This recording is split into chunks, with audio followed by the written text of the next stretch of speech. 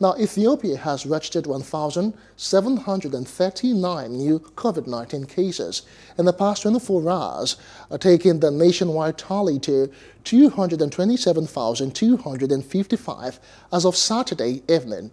Ethiopian Health Ministry said 35 new deaths from the coronavirus were reported across the country during the same period, bringing the national death toll to 3,146.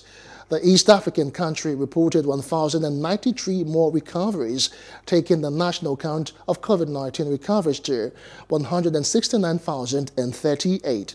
Ethiopia, Africa's second most populous nation, has so far reported the highest number of COVID-19 cases in the East Africa region and the fourth most COVID-19 affected country in Africa in terms of positive cases. Hope you enjoyed the news. Please do subscribe to our YouTube channel and don't forget to hit the notification button so you get notified about fresh news updates.